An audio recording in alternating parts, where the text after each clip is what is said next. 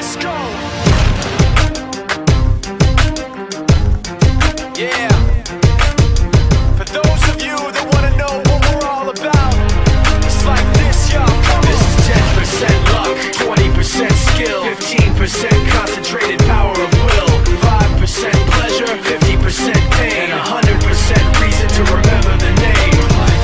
He doesn't need his name up in lights, he just wants to be heard, whether it's the beat or the mic. He feels so like everybody else alone In spite of the fact that some people still think that they know. But no, he knows the code. It's not about the salary, it's all about reality And making some noise, making a story Making sure his click stays up. That means when he puts it down, Tox picking it up. Let's go. Who the hell is he anyway? He never really talks much Never concerned with status, but still leaving him starstruck. Humble through opportunities given despite the fact That many misjudge him cause he makes a living from writing raps. Put it himself, got a picture connects. Never asking for someone's help or to get some respect. He's only focused on what he wrote. His will is beyond reach. And now it all unfolds, the skill of an artist. This is 20% skill, 80% beer. Be 100% clear, cause Ryu was ill. Who would've thought he'd be the one that set the West in flames? And I heard him wreck it with the crystal method